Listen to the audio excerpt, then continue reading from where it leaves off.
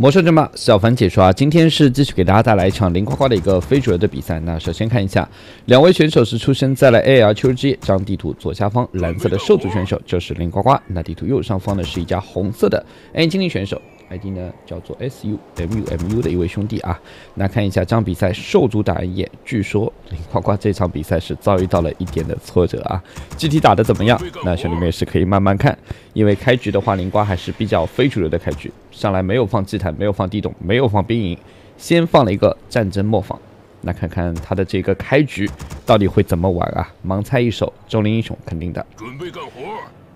那这边对安逸来说呢，还是比较常规的打法，祭坛越井，然后看一下比亚会造在哪？哎，还没比亚。一半夜的话，开局比亚放这里概率比高，比较高一点，这里也有可能啊，练疯狂。首发英雄的话，暗夜这边是选择了 QG，小精灵呢上来去侦查一下，灵瓜呢这时候也是已经放下祭坛和地洞。对手是把比亚直接放在了灵瓜家里，哦哟，这也是有所准备的啊。如果你这个地洞放在这的话，那这个比亚就放这；如果你的地洞放这的，那比亚放这。呱呱呢，这时候也看到了对手在这里放比亚，那对不起了，我就直接放个地洞，一会儿至少打得到你。哇，这个开局双方是针锋相对啊，看来对手是非常了解鲁呱呱的。那这样对呱来说的话，怎么去应变这个战术？目前兵营没有放，呱呱觉得还是没什么问题啊，还能不值不值？对手呢家里也放了一个比亚。这是双保险，就防止万一正面这个比亚打掉之后，自己的部队没法及时跟上。那这样家里再放一颗比亚，这颗是出兵的，这颗呢是进攻型的。我之前见过，好像高启强也这么玩过，就比亚直接造在人家家里，然后呢这里吃树吃树绕一圈之类的都会玩。那怪这时候的地洞马上好了，但对手的比亚呢也是快好了，应该是打不掉。来看一下灵光的英雄选择，买出了修补匠。这一盘的话，可能是因为这个比亚导致了灵瓜是用修补匠的啊，因为没办法，不能用别的英雄，用修补匠放口袋工具还能打掉这个比亚。你要用别的英雄的话，就怕暗夜这一波直接过来，又打不掉这个比亚，然后呢，自己英雄呢又被对手压制。那这里呢，里面灵瓜是丢了一个口袋工厂，那这样子开局比亚应该是没了。呱呱呢，还是利用地洞、口袋工厂加上苦工，先围住这个比亚，开局为比亚。那这里呢，看一下灵瓜呢，直接造了个地洞啊，不让你走。这边缠绕了一个苦工，比亚终于打掉，这苦工呢应该也没了。但不管怎么样，灵瓜呢还是破解了这个战术。千万不要小瞧这个战术，因为这个战术的话，一旦你不注意，让比亚爬过来，不停在这里拍你的苦工的话，其实是真的挺痛苦的。搞定了那 Q 技能过来继续点塔，又又杀一个苦工，感觉这一盘对手非常的针对啊。那最近呢，好多兄弟在问说，小凡你这个发条地精啊，老是不给他视角。我想看一下这发条地精最后是什么伤，怎么伤害的？其实它是跟炸弹人机好像一样的，技能好像显示的也一样的，就是打到最后时间到了就自爆，或者你可以手动选择选择一下自爆。它的这个伤害的话是一个 L 一型的，对，还是挺高的。真正这个。发条地精 A 一下的话，其实攻击并不高。你看这里可以看一下这头狼，这里面可以看啊。因为特地是有兄弟说的，小凡你给我一个视角让我看一看。你看这狼掉了二十九点血，所以强是强在最后这一下。那这里已经够了，够这几个发条地精点掉了。你打掉他他会自爆；你不打掉他他时间到了也会自爆，或者手动自爆都行。那瓜这边呢是打了个攻击之爪加四，而对手呢 KOG 拉着两个 AC 呢又来了。看一下暗夜家里目前的科技已经升了一大半，而林呱呱呢由于前期遭遇了这颗比亚之后呢，感觉有点心有余悸的啊，明显是做好防守了，造塔造兵营，科技呢暂时没有升。那这边的话修补匠呢只能是被动的防守，因为对手呢不停在过来点苦攻。那这边呢又缠绕住了修补匠。那这样子感觉暗夜这一盘打的是非常有目的性的，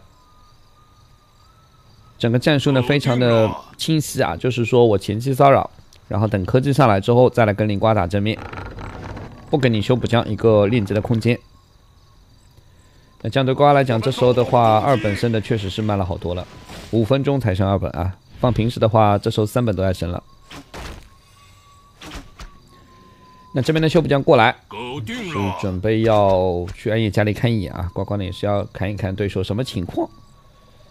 那现在呢也不知道对手二本科技有没有升完，知道在升啊。再等一会儿，放个口袋工厂。那这时候的话，哎呀，已经对手二本升好了。那这边呢，呱呱里面丢个口袋工厂也没用，对手留了三个 AC 在点。正面呢，这边的 QG 带着三个 AC 呢也来了。好在灵瓜家里呢，现在的箭塔数量是不少。这盘的呱呱已经是预感到了对手可能会来啊，所以说提前呢也是放了很多的塔，做好一个防守。那这边呢买了高达，前期的话苦工被打的比较多，现在的整个资源呢也是比较缺乏的。再放一根箭塔。好像放不下来啊！这边的话，恩爷目前就是 AC 流。我们遭到了攻击。二本升完之后呢，二发英雄来了个月之女祭司啊！哇，那这可能就 AC 打到底了吧？升个光环，一会儿升三本也可以。那对瓜来讲呢，现在整个链子空间是一点都没有，家里二本呢升了一大半，这就是属于比较难受的局了。因为一直有兄弟说：“哎呀，林呱呱怎么老是打的选手实力那么菜呢？”哎呀，怎么老是非主流就一个人表演呢？其实并不是啊，主要还是看对手有没有去防住这一套非主流战术。你像这一盘的话，对手做的非常的好，前期就压制，导致灵瓜根本就没有空间去练级，也没有时间去升科技，这不就行了吗？哪怕你是只闹牛，也是能限制得住的。那这边的 AC 是继续骚扰，这一盘的话对呱呱来说压力确实有点大啊，把高达拉出来，后面呢要跟着苦攻。否则一旦被对手集火的话，万一修不住就麻烦了。升级完成。那口袋工厂一丢下，对手呢直接就打掉。这边修补匠呢点死一个 AC 之后，终于到两级了。但对手呢月之月之女祭司也来了。现在是光环啊，这波的火力感觉呱呱有点扛不住。快点撤了，快点撤了，只能撤。那二本升完之后呢，灵瓜开始补投石车了。这张图上的投石车作用挺大的，可以来一波天降投石车。也可以说我正面进攻，还可以非主流链子。那这边呢，给高达还是要修一下的，高达不能被打掉。但这边的对手也是直接缠绕苦攻点，修不掉的想上去，看到对手缠绕用完了，还有一下了，那快点走。搞定了。那星阳呱呱被动之处就在于它的这几根塔是比较靠里面，然后对手呢可以在外围慢慢点你的这边建筑，包括你部队出来，我点你部队。想投车呢要注意了，这边的话，灵瓜呢是去地精实验室，可能要买飞艇了啊！这一波买飞艇作用还是挺大的，买好飞艇马上就走。但对手这一波的话，弩车也来了，关键还拉了小精灵。哇，那这样子的话，感觉对瓜来说压力有点大。这一看有小精灵，呱呱顿时也慌了呀！你要干啥？这你肯定要搞事情啊！这边的又被缠绕了，哎呀，这修补匠快点跑！QG 还要缠绕，好在走得快。有鞋子有被动，那这边的飞艇终于是过来了。这一波的瓜的飞艇应该是要考虑去练一下这边的九六六花岗岩的，否则这个修补匠根本就没有等级啊。这边的盲中出错，撞到了野怪身上了。野怪说你干啥？那这时候的话看一下，有了四只小精灵没有造 BP，弩车呢先过来跟对手对拼一波。呱呱呢是选择直接去对手的主基地，放个口袋工厂，看看能不能把这个月景打掉。那这里的灵瓜现在有了两辆头车之后的话，还是能够守一守。我们遭到了攻击。这边呢，保存回去一个 AC，开始进行一波防守。这里的话，后排呢已经在造商店了。那第二辆弩车一来的话，其实对灵瓜来说压力是有点大。弩车一辆和两辆的差距挺大的啊。一辆呢，说实话，正面的进攻呢，只是说阵势看上去比较大，要点一下对手的单位。但是实际的作用呢，没那么大。但一旦有了两辆以后的话，其实所有的建筑你只要一轮急射，这伤害很明显。那这边的话，恩爷目前呢也进攻不过来，打不进来。啊，呱呱呢修补匠绕了一圈，看到对手 QG 回来了，只能撤。你看这一盘恩爷的压制非常的好啊，他的 QG 至今只有一级，这说明什么？说明整场比赛恩爷就没有怎么练级，没练啊，就没练，一直是在压制。这样子的好处呢，是让灵瓜这边也练不了级。那现在呢，呱呱两辆头车出去了，这不得不出去，因为再不用非主流练级的话，这修补匠等级上不去。那对手无所谓啊，QG 和月之女祭司，哪怕只有一级照样能打这个战术，但修补匠不行。那瓜呢？家里头车呢还在出，怎么着再补两辆啊？要让对手以为没有投射出去，非主流练级了。那这边小心了，别被抓。对手呢买出三发英雄游侠，哇，三个远程英雄了。呱呱这时候呢来到商店买单船，你缠绕我就走，哎，走得掉吗？吃血瓶了呀，要要死，吃血瓶走啊，单船肯定要死。那这波呢，瓜已经两辆头车过来了，再砸这边的九六六花岗岩。还好对手对这一招链子没有去防备，否则的话对瓜来讲就就麻烦了啊。那家里呢还有两辆头车呢，对手一下子估计也不知道，你出去两辆了，以为还是那两辆。那这里的话就开始练了，这个练级应该好多兄弟们应该看过的啊，我把视角稍微放高一点。这里的练级原理呢，就是这里有个小水滩，然后的话在这里降落之后，这边正好没有远远程怪。那就是利用飞艇开一下视视野之后，免费打这个九六六花岗岩了，无伤练级，效果其实还是挺不错的。那这边呢，灵瓜的修补匠呢，离三级还有点距离，练完之后就能到三了，快点过去拿个宝物。对手呢继续压制，后面呢还有两辆弩车。呱呱呢现在是升级一个尖刺障碍，这好像没用吧？对手都是远程部队啊。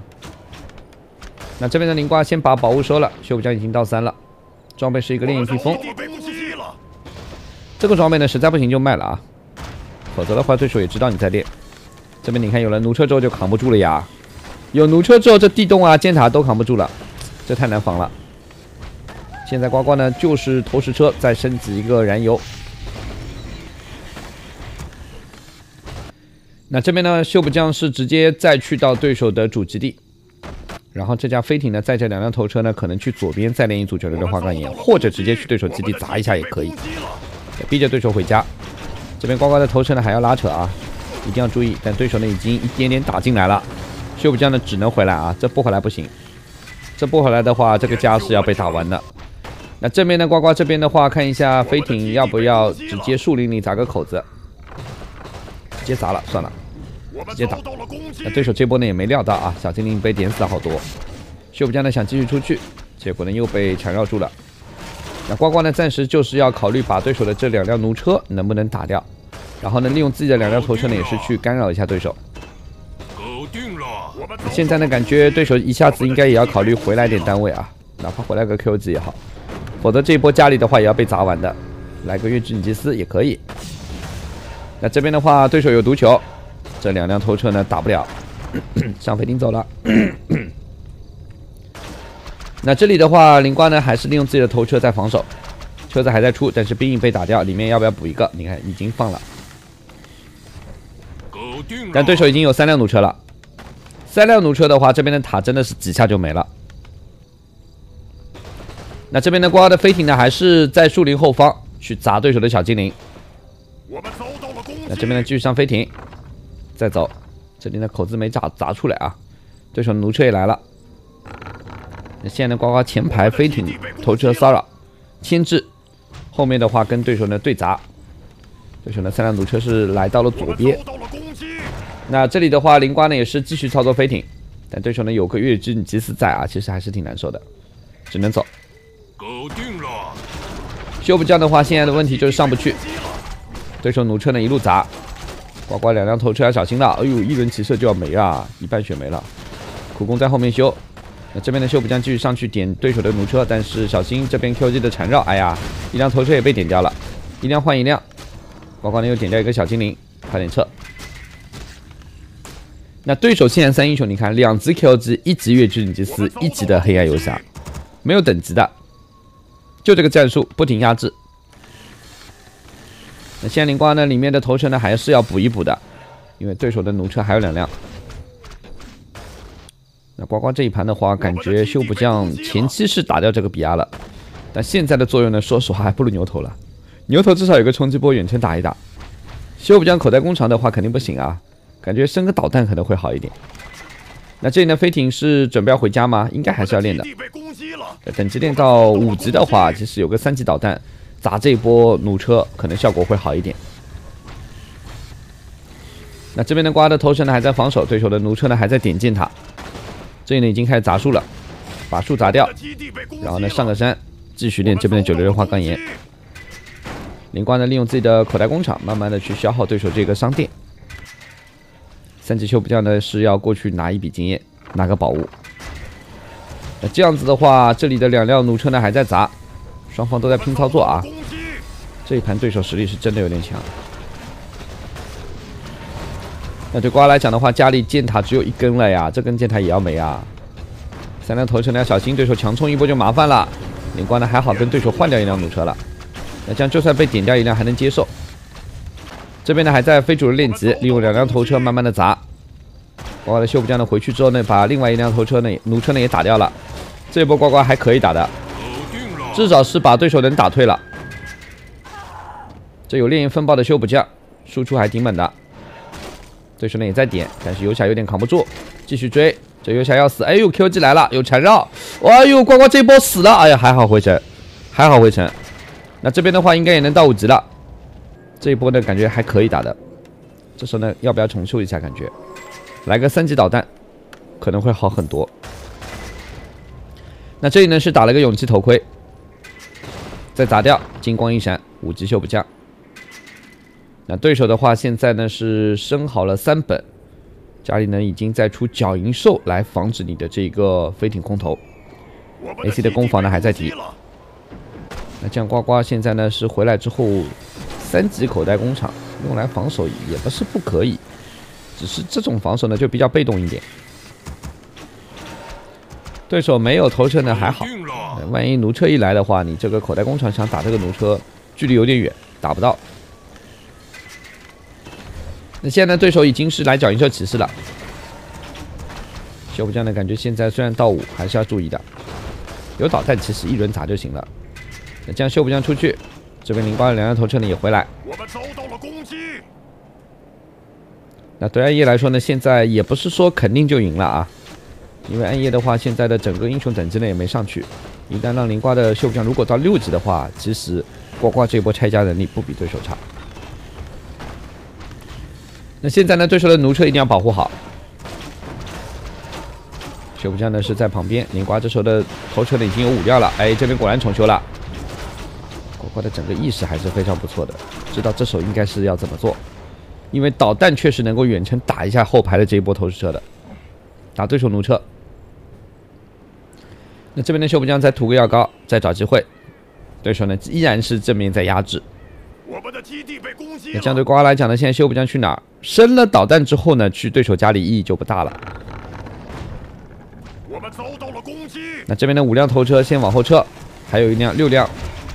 又被点掉一辆了，对手这一波的输出是非常猛。呱呱这时候呢出兽放兽来了，有可能要出自爆蝙蝠。后面的修补匠又砸掉一辆弩车之后呢单船走人，哎呦走得掉吗？没走掉，完了。我们的英雄被这一波输出太猛了呀，对手。那这样这修补匠一死，只能复活了，因为对手呢在中间已经等着你买活啊，你要买活我就来打你。那这里呢再练一下。哇，这三英雄等级一旦起来之后真的不好打。那呱呱呢？还是想买活的。这边让飞艇过去。哎呦喂，对手角银兽来了呀！已经知道你要买了。哎呀，那这样子对林瓜来讲，这一盘太被动了呀。这边也不能买啊，买出来就是死，或者直接回城。先复活了再说了，看情况。那这样瓜出不去了，现在。那这里呢，修补匠还是要复活一下。